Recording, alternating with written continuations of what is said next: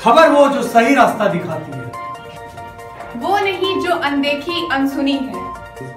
खबर वो जो निकल कर सामने आती है। हर छोटी बड़ी खबर पर नज़र जिसका ताल्लुक आपसे। वो नहीं जो केवल बड़े बोल बोलती है। खबर वो जो भ्रष्टाचार को उजागर करती है। खबर वो नहीं जो केवल सनसनी फैलाती है। सच्चे और सही रास्ते से गुजरकर जो लाए सही पहचान। यही है दर्शन की पहचान।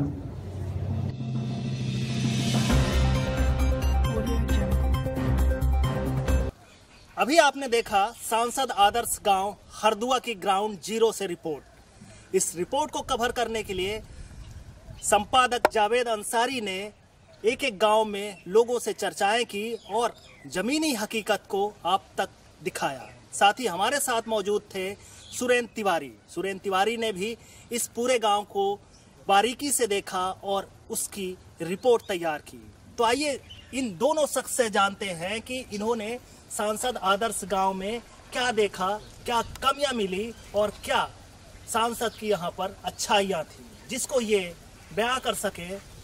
तो आपने क्या देखा यहाँ पर? जावेद जी, जिस तरह से आपने ग्राउंड ज़ीरो में रिपोर्टिंग की, सांसद आदर्श गाँव की, सड़क पानी, बिजली जैसी मूलभूत सुविधाओं को आपने बारीकी से देखा। विजय, मैं आपको बताऊँ, आदर्श ग्राम देश के प्रधानमंत्री नरेंद्र मोदी की एक बड़ी परिकल्पना थी।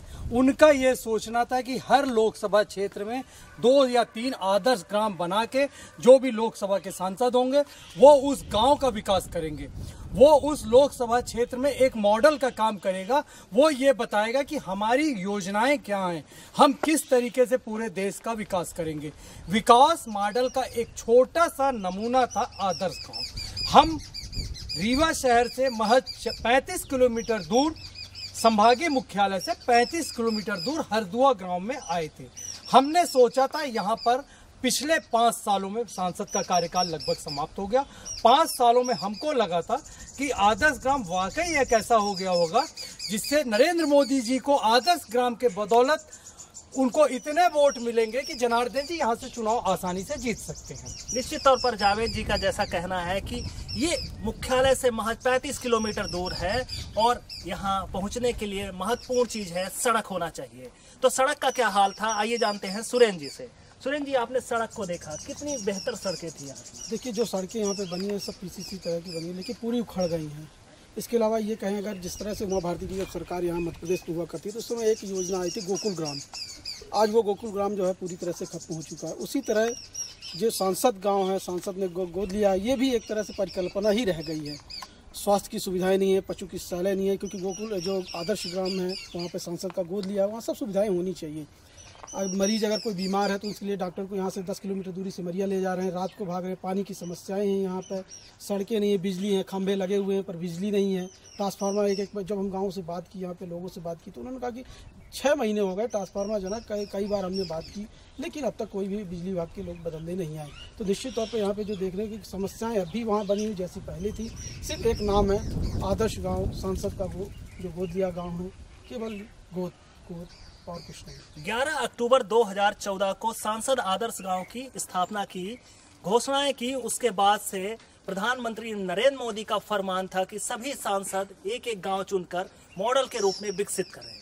लेकिन अगर हम बात करें हरदुआ ग्राम पंचायत की तो यहाँ पर सड़क, पानी, बिजली जैसी तमाम खामियाँ देखने को मिलती हैं।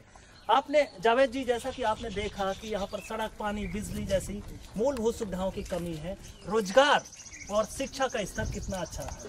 देखिए विजय जी, सबसे बेसिक किसी गाँव की सबसे बेसिक और सबसे अनिवार्य चीज़ होती है स्कूल। अब जब शिक्षा का स्तर ही नहीं तो उद्योग धंधे और तमाम तरीके की बातें तो बेमानी हो जाता है। उस स्कूल में, उस जगह पर कैसे विकास हो सकता है? मैं अपने पीछे, जहाँ पर मैं खड़ा हूँ, उसके पीछे एक टंकी भी है। मैं आपको बताऊँ, ये टंकी 12 जनवरी 18 को बनी थी। इसका सीधा सा मतलब है, स्कूल के बगल में डेढ़ साल पहले टंकी बनाई गई। उस टंकी में एक बूंद पानी नहीं आया। और जब पानी नहीं, स्कूल में पानी नहीं तो टॉयलेट का मतलब अपने आप तय हो गया कि टॉयलेट का हम इस्तेमाल नहीं कर सकते। जब आप टॉयलेट का इस्तेमाल नहीं कर सकते तो ये तो तय हो गया कि लड़कियाँ उस स्कूल में आ नहीं सकती। अब आप खुद सोचिए हमारे दर्शक भी इस बात को सोचे, जिस स्कूल में बच्चे स्कूल में पढ़ने नहीं जा सकते, उस स्कूल में मूलभूत सुविधाएँ उस गाँव में कैसे कैसे लाई जा सकती हैं, ये अपने आप में एक खुद बहुत बड़ा सवाल है। निश्चित तौर पर यहाँ पर कई सारी कमियाँ देखने को मिल रही हैं। सांसद आदर्श गाँव की घोषणा होने के बाद जनार्दन मिश्र ने हरदुआ गाँव को गोद लिया और यहाँ पर करोड़ों रुपए खर्च किए, साढ़े चार साल का वक्त भी गुजर गया तो यहाँ पर विकास कार्यों की क्या रूपरेखा यहाँ पर देखने को मिल रही? कितना भ्रष्टाचार और यहाँ पर अव्यवस्थाओं का आलम है? देखिए, भ्रष्टाचार हुआ या नहीं हुआ, ये तो जाँच का विषय है, इस पर हम ज़्यादा वो नहीं कहेंगे जो हमने यहाँ देखा। लेकिन जिस तरह से आदर्श गाँव के नाम पर गरीबों के आशियाने उजाड़ दिए गए, जो उनके घर बने हुए थे, उनको दीवार सौंदर्यीकरण के नाम पर जो सौंदर्यीकरण हुआ ही नहीं, उस पर उनके घरे, घर गिरा दिए गए। प्रधानमंत्री आवास के नाम पर हमने दिया, आवास योजनाओं का उन्हें लाभ नहीं मिला। तो ऐसी कई सुविधाएँ जो मूलभूत सुविधाएँ हैं लोगों को नहीं मिली केवल एक देखा कि कई सारी बिल्डिंगें खंडहर में तब्दील हो गई उनका लोकार्पण भी नहीं हुआ और वो खंडहर बन गई। देखिए ये एक भ्रष्टाचार ही कह सकते हैं इसे अपने चहेतों को जो है ठेका देने के लिए उन बिल्डिंगों को ख़त्म कर देना जो बन रही थी उन पर काम रोक देना और नई बिल्डिंग जो है नए भवनों की मंजूरी देना। तो यही देखने को यहाँ पे मिला है। दो तो चार बिल्डिंग यहाँ इतना ही नहीं जिससे पोलिंग बूथ बनाया गया है जिस भवन को बनाया गया वो भी अंदर से पूरी तरह से खंडर है बाहर केवल पोत दिया गया है। निश्चित तौर पर अगर सांसद आदर्श गाँव की बात की जाए, विकास की एक मॉडल के रूप में बात की जाए तो यहाँ पर सांसद जनार्दन मिश्र ने जो काम किए हैं, उन्हें, उनकी गुणवत्ता के आधार पर ज़ीरो परसेंट ही मिलना चाहिए, क्योंकि जो काम यहाँ पर हुए, वो सिर्फ़ कागजों में हुए। पास ही हरदुआ से यहाँ पर एक बड़ी गौशाला भी है, जो प्रदेश में दूसरे नंबर का स्थान रखती है। बावजूद इसके यहाँ पर आवारा पशु घूम रहे हैं और उन्हें वहाँ तक नहीं पहुँचाया जा सका। साथ ही शिक्षा, स्वास्थ्य जैसी मूलभूत सुविधाएँ भी यहाँ पर देखने को नहीं मिली। पानी के लिए लोग भटकने के लिए मजबूर हैं। ऐसे में सांसद आदर्श गाँव की परिकल्पना पूरी तरह से फ्लॉप साबित होती है और सिर्फ़ योजना को कागज़ तक ही सीमेंट कर रखा गया है। करोड़ों रुपए खर्च ज़रूर हुए, लेकिन योजना का लाभ आम जन को नहीं मिल पाया। ऐसे में सवाल ये उठता है, क्या आदर्श गाँव के विकास मॉडल के नाम पर सांसद पुनः दोबारा स्थापित हो पाएँगे? तो आप रीवा दर्शन से बने रहिए। ताज़ा तरीन खबरों के लिए आप देखते रहिए रीवा दर्शन। नमस्कार।